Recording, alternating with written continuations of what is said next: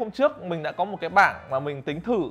Đó là nếu mà coi giữ ở mức khoảng tầm 2.150 đô trên một ETH thì các bạn sẽ kiếm được con số sấp xỉ khoảng tầm 1.400 đô tức là nó hơn 30, 32, 35 triệu trên một năm tức là bằng giá của laptop luôn rồi. Các bạn đào được các bạn hòa vốn. Nghe thì có phải có lời đúng không?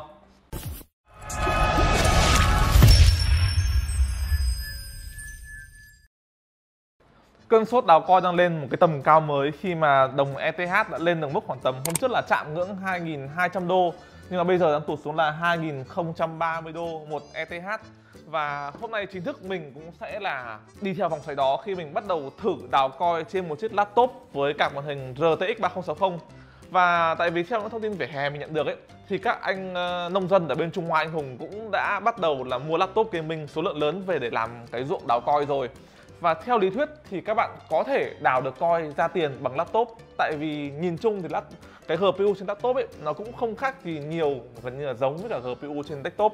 Nên hôm nay thì đây là một mẫu laptop sử dụng RTX 3060 và những cái mẫu laptop sử dụng RTX 3060 ấy, thì mức giá của nó loanh quanh khoảng tầm từ 32 đến 42 43 triệu đồng cho một chiếc laptop. Và để đào coi trên laptop dùng 3060, 3060 Ti thì mình không nói nhé, nhưng 3060 thì các bạn sẽ cần một cái driver của nvda driver dò gì mà hôm trước Ly đã nói trên tàu nhanh công nghệ ấy.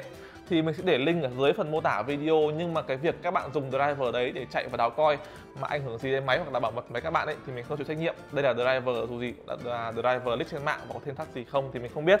Thì mình đang đào ở trên à, pool là pool của của ETH và chúng ta dùng phần mềm là T-Rex, thì cái phần tốc độ đào coi hiện tại của cái chiếc laptop này đang là 40 MHz trên giây, tức là nó sẽ kém hơn mức 60 MHz trên giây của con 3060 thường trên desktop. Và để cái lý giải cho cái việc mà tại sao dùng chung GPU nhưng mà chúng ta lại có tốc độ đào coi thấp hơn thì mình nói sau. Và trước mắt chúng ta tính cái lãi đã.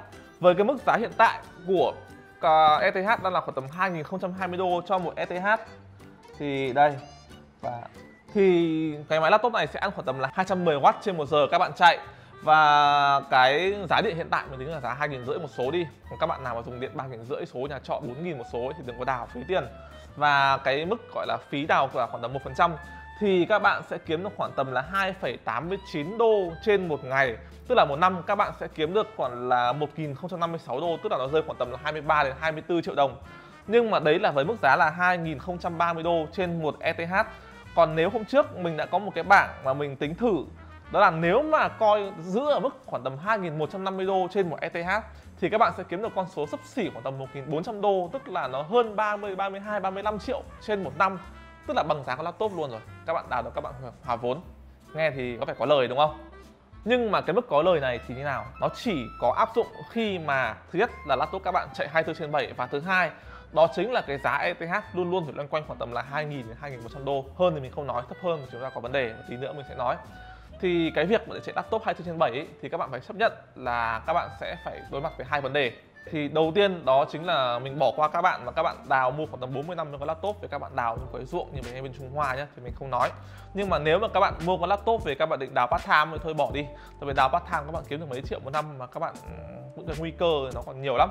Thì cái việc mà các bạn chạy laptop 24 trên 7 thì các bạn phải chấp nhận là thứ nhất, đó chính là cái việc các bạn sẽ không làm được gì trong laptop này cả. Các bạn chỉ cắm và chạy và chả làm cái gì cả. Và cái việc mà các bạn cắm chạy đấy thì nó ảnh hưởng, thứ nhất, đó chính là các bạn về vấn đề bảo mật.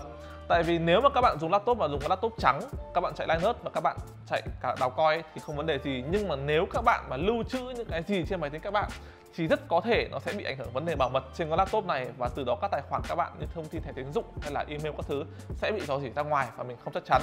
Nên là nếu mà đào coi bằng laptop thì các bạn vui lòng là dùng con laptop trắng cái win trắng không login một cái gì cả chỉ để chạy một phần mềm đào coi thôi. À, cái thứ hai đó chính là vấn đề hiệu suất của máy. Tại vì các bạn thừa biết là một con laptop này so với máy bàn máy bàn các bạn nó to những sàn đào coi chuyên nghiệp được gọi như gần như là để bên table ấy. Cái bộ tản nhiệt của những cái máy đào coi thì nó rất là to, rất là lớn và thổi quạt vào nó luôn luôn mát, không vấn đề về quá nhiệt. Nhưng mà laptop thì khác. Laptop các bạn luôn luôn sẽ phải chú ý đến vấn đề cân nặng và kích cỡ, nên vì vậy các hãng họ không bao giờ chú ý quá nhiều, gọi là quá sâu sắc cho phần tản nhiệt cả. Tại vì định luật vật lý, cái gì càng to, tản nhiệt mới tốt. Nhưng mà to, nặng và laptop thì chả ai muốn mua laptop nặng cả. Nên là tản nhiệt trên laptop này khi mà các bạn đào coi liên tục 24 trên 7 nhá thì nó sẽ bị nóng chắc chắn là nóng rồi. Và khi nóng thì sao? Khi nóng thì lúc đấy thì cái phần con uh, hệ thống trong máy sẽ bảo là nóng quá giảm sung đi. Và giảm sung thì giảm sung cạc là chính tại vì cạc đang là tác nhân chính gây ra nóng cho cái bộ máy này.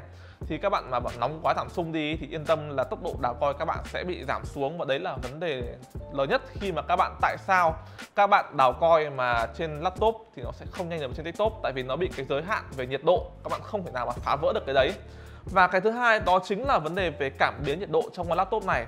Thì trên con laptop ấy, các bạn sẽ có cảm biến nhiệt độ chỗ này, chỗ kia, chỗ này, chỗ kia. Nhưng mà cái phần nóng nhất là phần GPU và VRAM thì GPU thì các bạn có thể tra kem xịn thứ thì mình không nói làm gì. Nhưng mà RAM, thì với các 3060 này chúng ta có 6 GB RAM, tức là chúng ta có 6 cái chip nhớ. Mà chỉ một trên 6 cái chip nhớ đấy là các bạn được gắn cái sensor thôi. Và cái sensor đấy có thể nó sẽ làm đúng cái chip chip RAM nóng nhất. Nên vì vậy là toàn bộ tổng thể cái máy nó sẽ bị nhiệt độ nhận ở mức nhầm. Và vì vậy là cái phần xung cạc ấy cũng vì thế mà giảm. Nên là khi mà các bạn đào vào laptop thì cái phần về giới hạn về nhiệt độ là cái cực kỳ quan trọng. Nên là đa số các bạn thấy mấy cái ảnh đào coi ấy thì họ sẽ lật úp của laptop này xuống này. Thì nó ừ, lật úp của laptop xuống ấy để nó tỏa nhiệt tốt hơn. Là các bạn để như này để như này tổng nóng laptop thôi.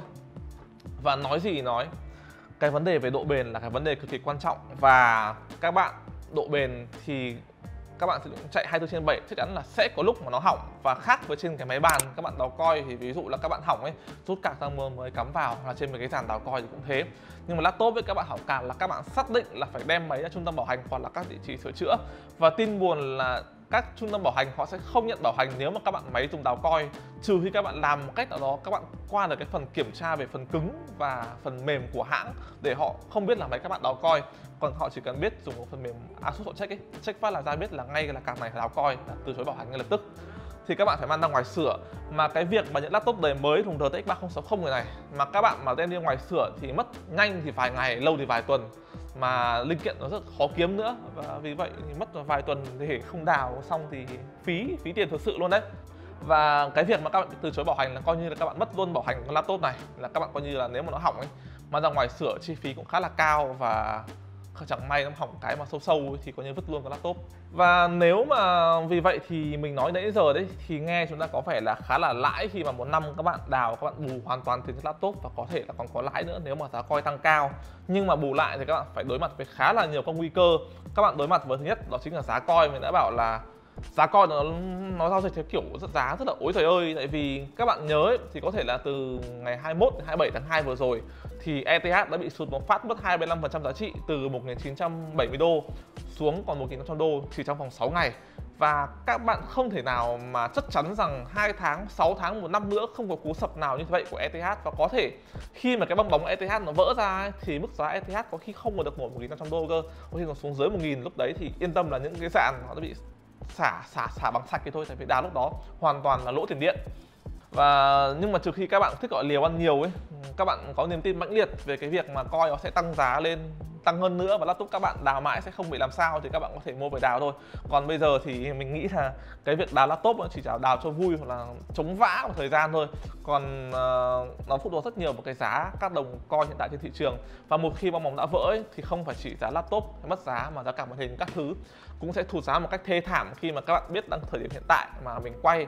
Thì một chiếc 3090 đang giá là 65 triệu đồng một chiếc 3070 đang là khoảng tầm 30 triệu và 3080 khoảng tầm 40 triệu so với mức giá khởi điểm lúc ra mắt của 3080 chỉ là 20 triệu mà thôi.